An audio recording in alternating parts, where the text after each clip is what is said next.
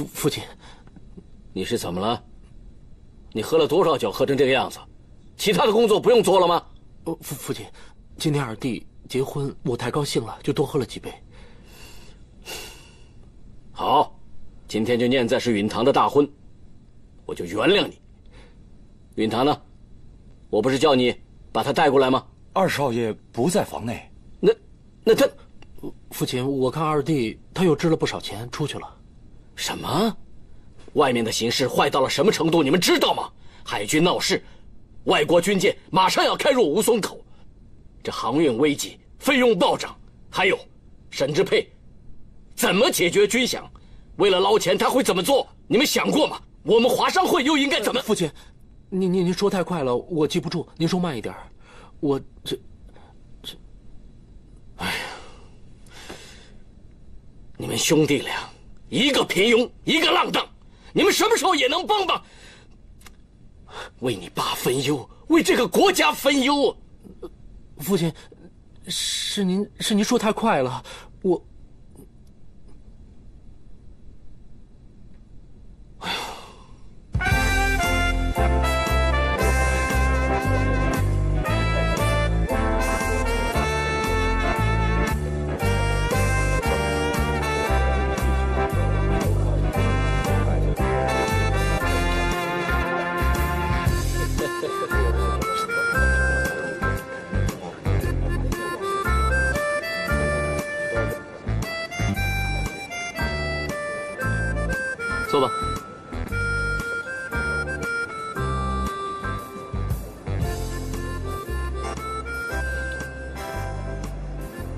帮我买只股票。你不是清高的音乐才子吗？怎么玩起股票来了？啊？要怎么玩？一千块够不够？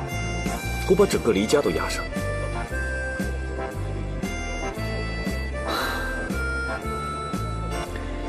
你又不懂股票是什么东西，你要怎么玩啊？还是算了吧，省省吧。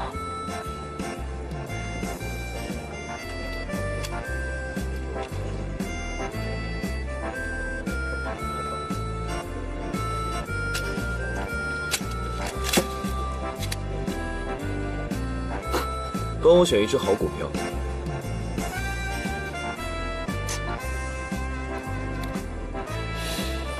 你应该知道的，用枪是吓唬不了我的。嗯？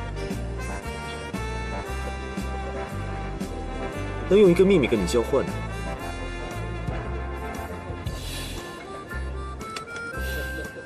好啊，说来听听。如果海军哗变，应该买哪只股票？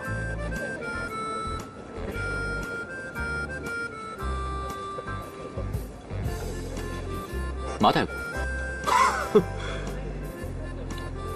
你在跟我开玩笑吗？爱信不信，我也帮不了你。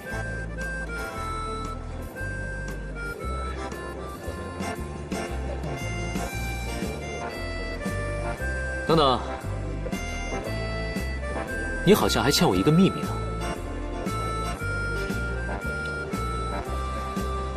我大姐说明天早上敬茶会，她会把童玉婉整得生不如死。你有机会火上浇油，不送了。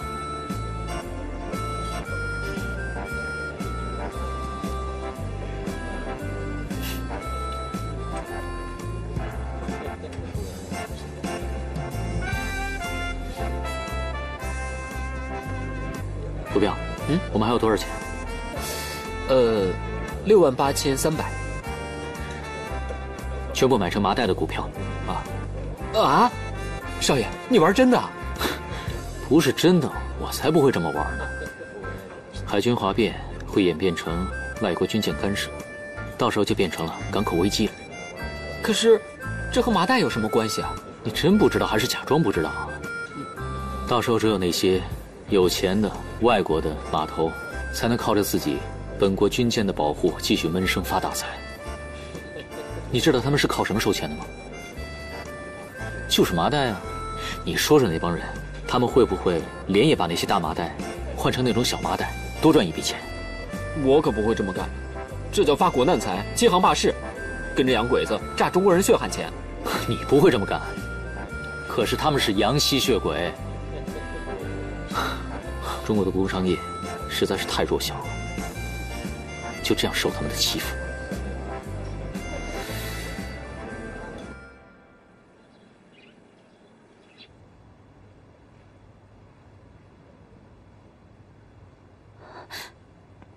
少爷还没回来，怎么办呀？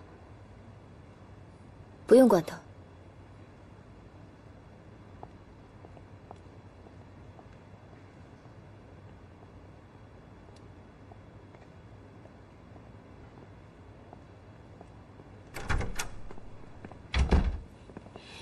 我不是跟你说我去一下花房，叫你等等我吗？就不等啊？跟他们说我昨天晚上跟你在一起。我这个人从来不会说谎话。你不会说谎话，真的？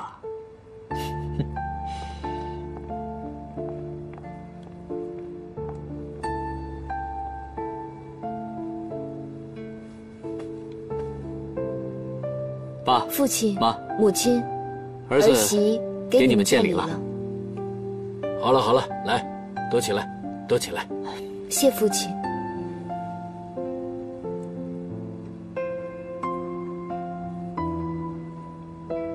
父亲，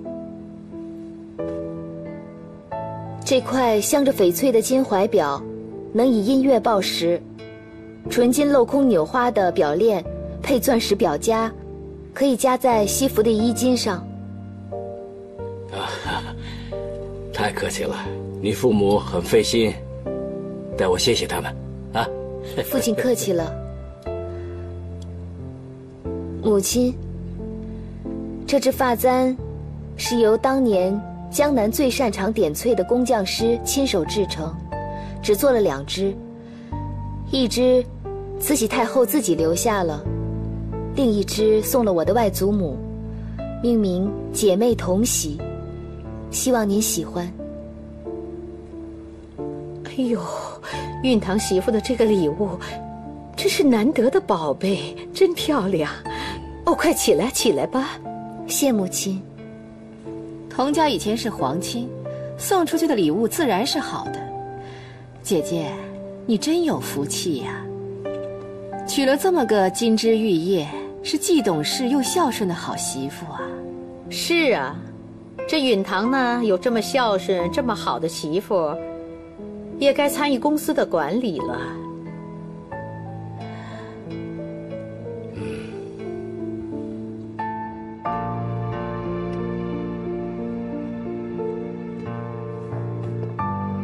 父亲，请用茶。嗯，好。大吉大利啊！啊，谢谢父亲。母亲，请用茶。嗯，好。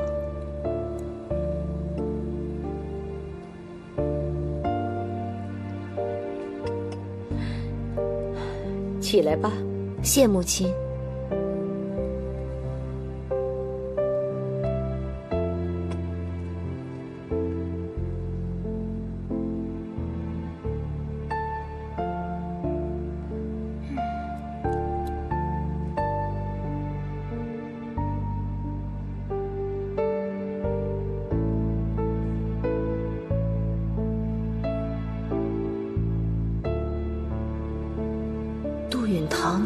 快敬茶，那就得反着来。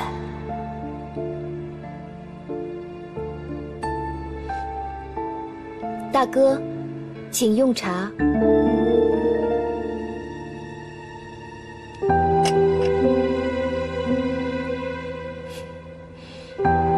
二少奶奶，怎么，我得罪你了吗？我就连吃你一口茶都不配吗？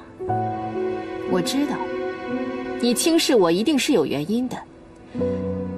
想必是你身后有人轻贱我是个偏房。哎呀，老爷，看来这事儿啊，还得你给我做主了。好了，这事儿不用老爷做主了，我来做主就行了。既然新来的不懂得家法，那就让他跪家法好了。母亲，我这么做是因为大嫂她告诉我，我怎么了？难道我会唆使你不给自己的婆婆敬茶吗？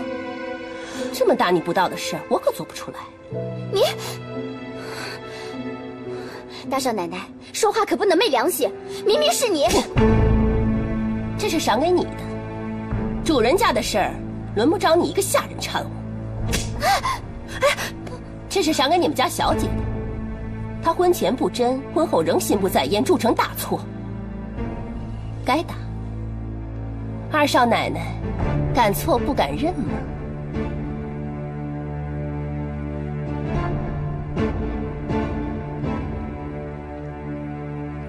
我承认，没有给二太太敬茶，是我的错。二太太，对不起。不过大嫂，素汐是我的陪嫁丫鬟，平辈当中，只有我有权管教她。大嫂，刚才您打她两个耳光，有失身份，希望您能向素汐道歉。还有，大嫂说我婚前失贞，可否有证据？如果没有证据，那就是大嫂信口雌黄，必须向我道歉。哼，有必要道歉吗？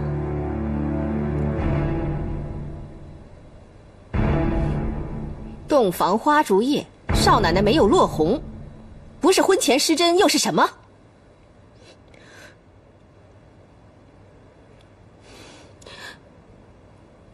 云堂，这是怎么回事？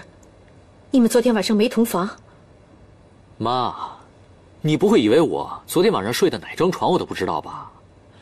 昨天晚上呢，我是睡在新房里，他呢，我真不知道。而且他有没有失贞，我也不知道。我只知道他婚前的确是跟别的男人私奔。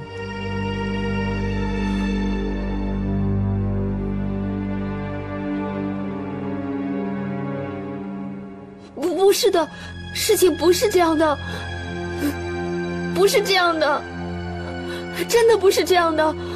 那你敢说，我刚刚哪句话是说谎了吗？你，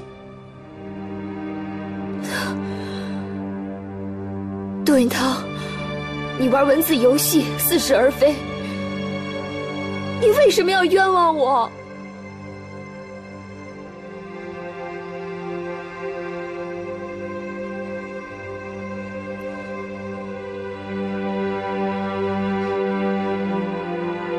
玉婉是被冤枉的，我大房的儿媳妇，她的清白我最清楚。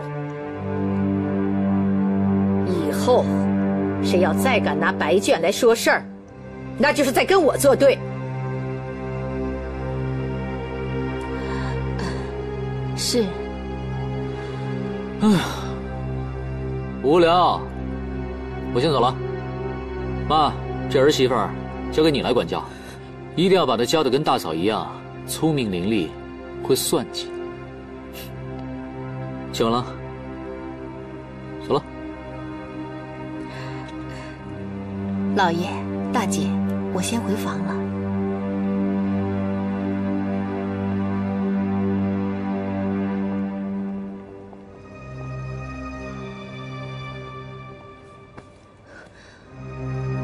多谢母亲信任我。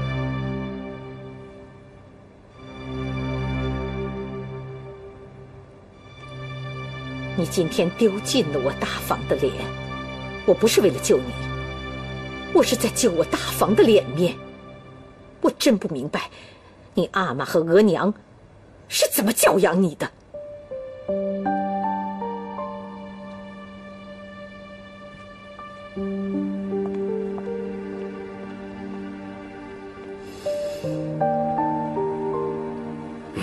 来，起来。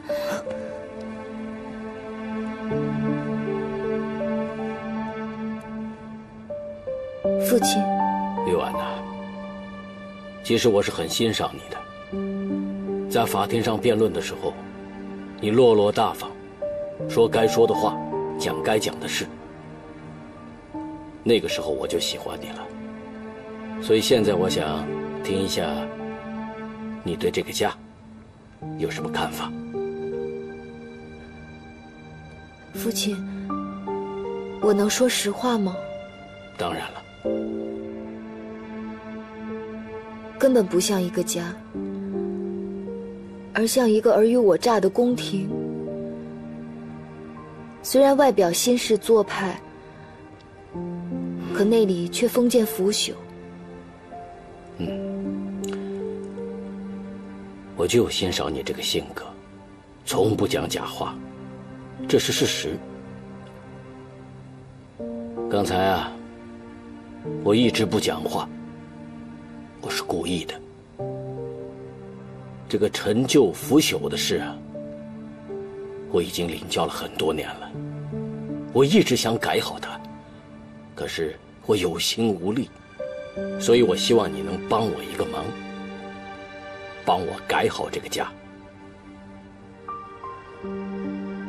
我，父亲，谢谢您的信任，可是我不知道该怎么做。我的意思是说，你告诉他们什么叫做善良，告诉他们什么叫做宽容。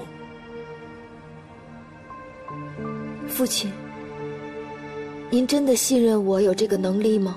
信任。不是人家给你的，而是你用自己的行动来赢得人家的信任。不过我对你是有信心的，我相信不久的将来，你会赢得我对你的信任，甚至是杜家上上下下所有人的信任，是吧？嗯。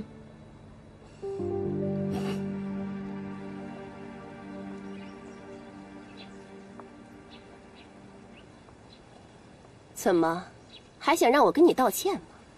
我之所以忍让你，是因为你是雪梅的大姐，我不想让雪梅难堪。不过我希望你不要再用不光彩的手段让我看不起你。我会在乎你的看不起吗？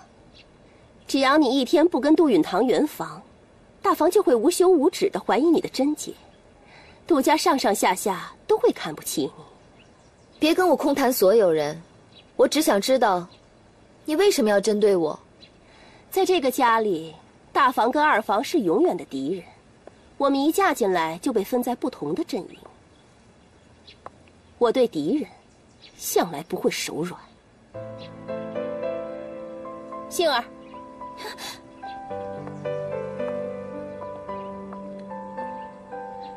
这家人一个个恨不得你吃了我，我吃了你。小七。我真有点后悔了。你后悔什么？早知道是这样，我就应该当初不惜一切代价支持你和周少爷私奔的。我倒觉得，真正可怕的，不是把恨写在脸上的大嫂，而是笑着把我推向地狱的杜允堂。他才是真正的恶魔。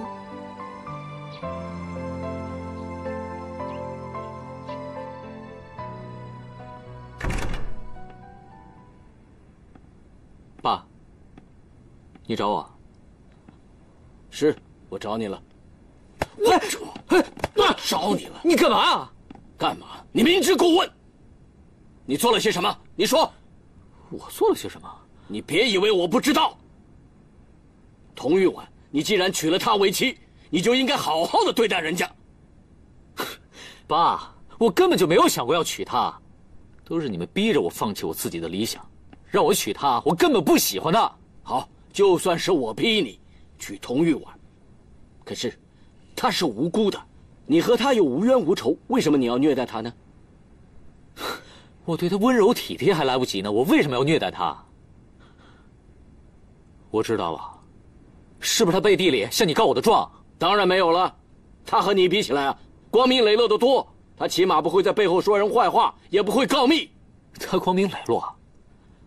爸，你是不是忘了那些？名门望族的女人，她们以什么为职业？那就是勾心斗角。你别忘了，清平是他害死的。哎呀，允堂，你这个人做事越来越偏激了。我是是你啊，我是你爸爸，我说的话难道你不听吗？我阅人无数，我可以肯定的告诉你，童玉婉这个女人，是绝对可以相信的。哎呀，所谓日久见人心呐，最起码你得给他一个可以证明他自己的机会啊。好，我就答应你。反正他很快就会掉到谷底了，我去看看，到时候他还能不能光明磊落。说什么呢？没有，什么都没说。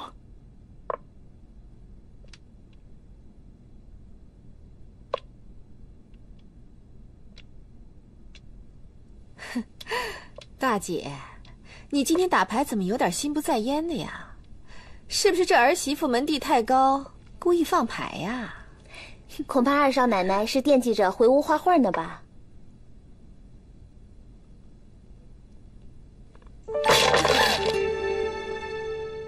多嘴多舌的东西，哪轮到你说话的份儿啊？上家法。是，大太太，冤枉啊！大太太，我，你起来吧。大太太冤枉啊！冤枉？真的冤枉吗？我安排你到二少奶奶房间去伺候着，她房里的白卷怎么跑到别人手上了？你说，谁让你做的？谁让你做的？大姐，我我我没有啊，没有。哼，当着老爷我装傻，是不想让我儿子受苦。可你们婆媳之间背后搞的事儿，把我当傻子吗？嗯？允堂昨天晚上根本没在家过夜，你们以为我不知道啊？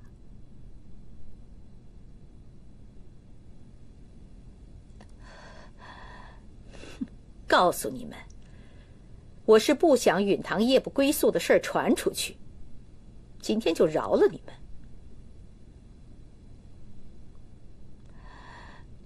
给我滚！是，带下去。是。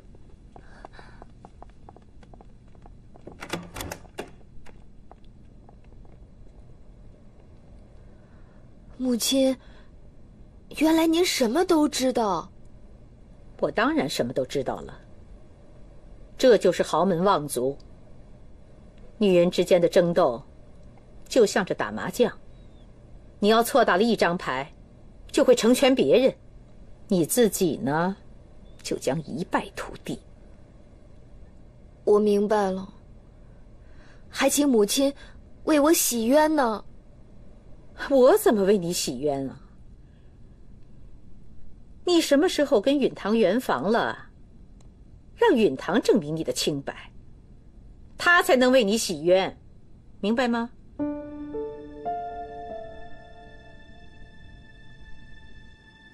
小姐，姑爷怎么能这么欺负人呢？他简直就不是人，真不想饶了他。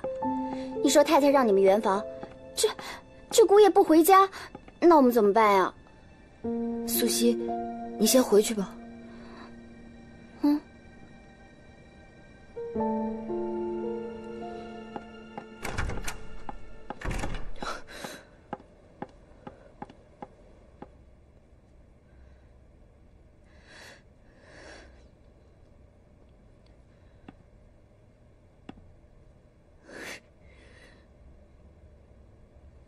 想和我谈条件吗？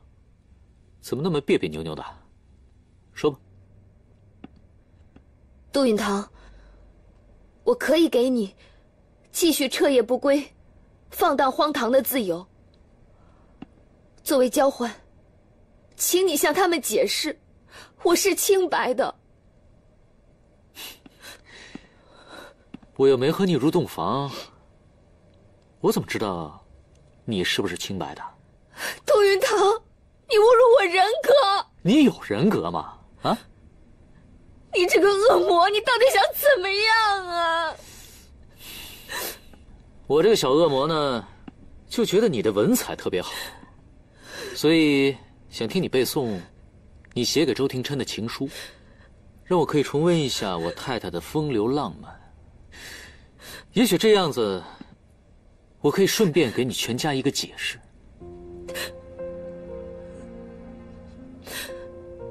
那是一段刻骨铭心的错过，不能当做谈资和玩笑。不管发生什么，我都不会给你侮辱爱情的机会。我可以再给你一次机会，要是你愿意，承认你不配做杜家的媳妇儿，我可以给你自由啊。杜允堂，你保住了你母亲在杜家的地位，就拼命污蔑我，逼我离婚，好换取你的自由，对不对？可我离婚付出的代价，不仅仅是我自己的名誉，还有我父母所有的尊严。我根本不能这么做。杜云堂，你拼命的羞辱我，无非就是想替清平报仇。你还算个男人吗？你一生当中见过几个男人啊？不就周廷琛一个吗？我一生一世见识过一个男人，我足够了。一个真的男人，让你一个人去私奔，他甩了你，你还给他写那种绵绵情书，你真笨，特别笨。杜云堂，你太过分了！哭，我喜欢看你流眼泪。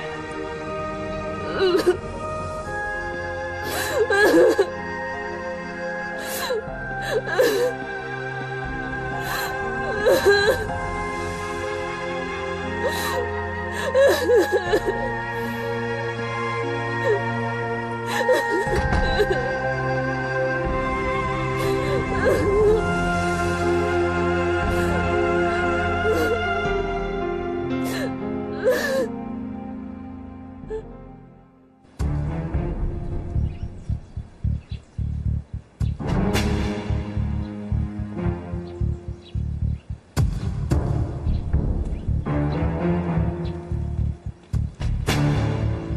家，走吗？走。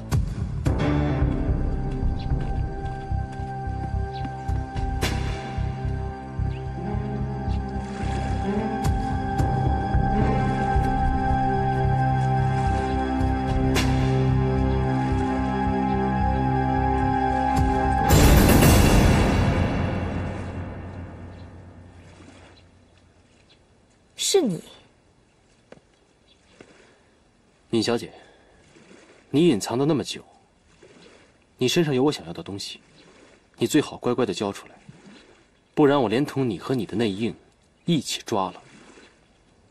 我没有内应，要杀要剐，悉听尊便。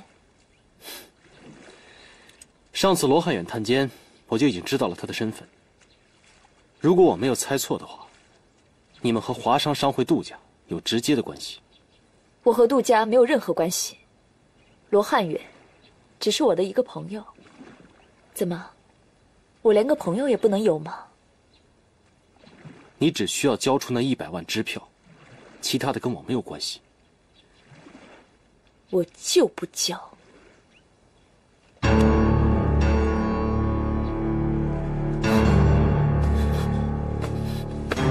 啊！啊！泼妇！泼妇！我是一个女人，只要能逃过危机，别说是咬你了，就算是吻你，我也不怕。你最好给我老实点，坐下。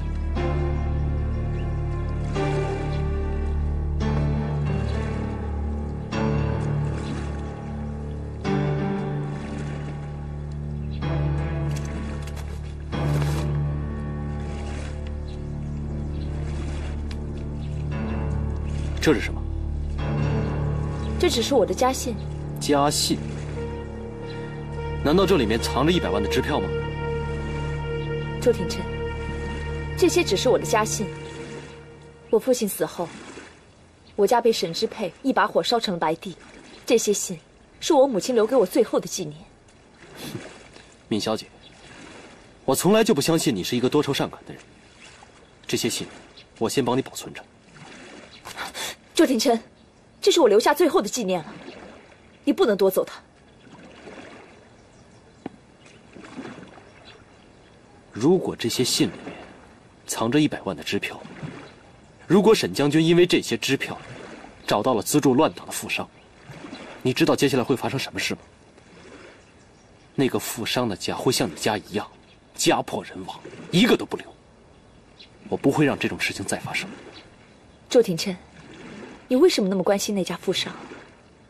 是不是那个家里有你非常关心的女人童玉婉？不关你的事。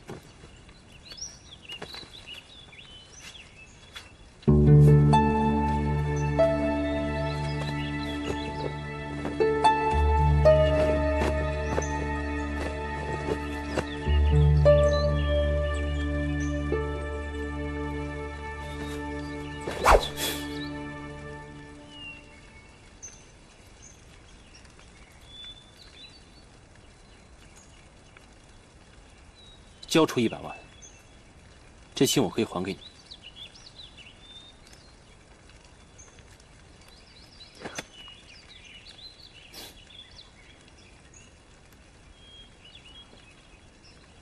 没想到，黑鹰也是个爱财如命的人。我不是为了我自己，我是为了我那些弟兄，还有上海的百姓。要是不拿出这一百万，去发放拖欠的军饷的话，上海的老百姓会被枪杆子逼着去买公债。你一个只会耍耍拳脚、不动脑子的女杀手，根本就不知道会死多少人。算账，朱廷琛，恐怕我比你这个只会杀人放火的杀手，要清楚得多。哼，你用激将法对我没用。周廷琛，对你，我只愿以心换心。你有没有想过，这笔钱够发几个月的军饷？用完了以后呢？沈之佩真的能停止横征暴敛吗？以后，我没有想过以后。我只知道，你现在必须交出一百万。你舍不得杀我。如果你舍得杀我，刚才在水里已经有机会了。因为我还没拿到一百万。你就算拿到了一百万，你也舍不得杀我。为什么这么说？因为你的眼睛像寒夜的星光，表面冷酷，却藏着温情。因为我知道，你是一个不血杀女人的男人。你猜错了，我就没把你当成女人。你是一个值得让我出手的对手。若是这样，我虽死无憾。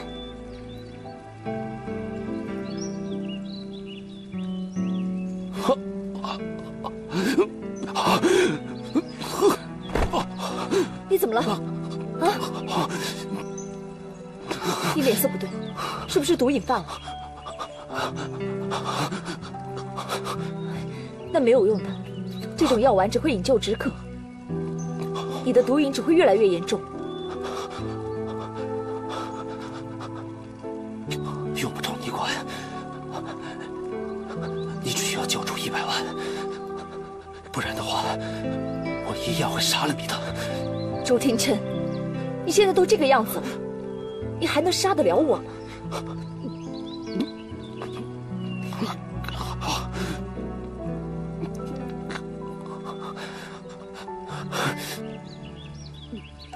信我拿走了，钱你自己去找。你现在没有生命危险，你自己要多保重。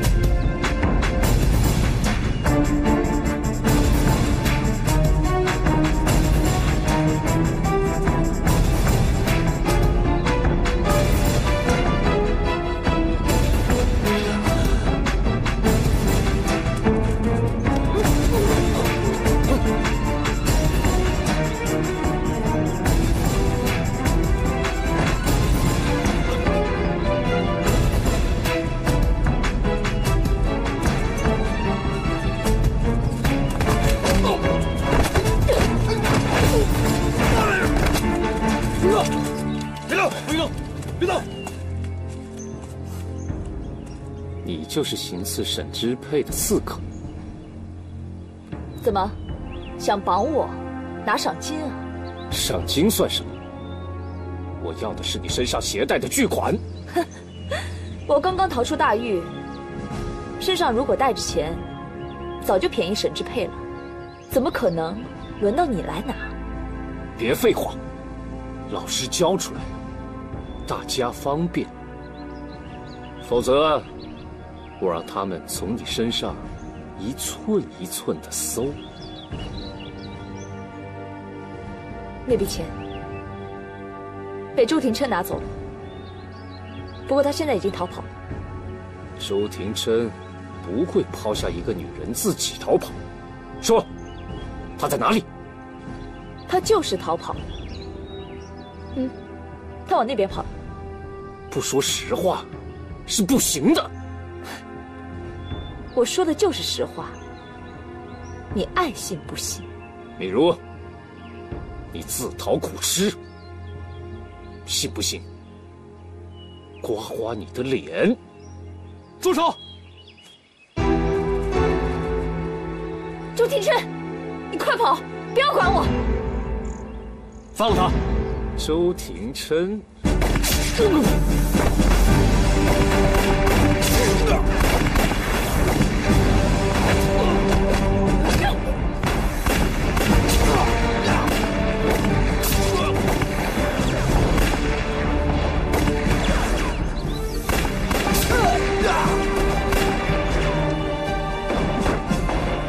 琛，你是怎么恢复体力的？是不是吃了双倍的止痛药？这样子很伤身体的。你最好还是担心一下你自己吧。我已经找到了一百万，你没有骗过我的眼睛。我没有一百万。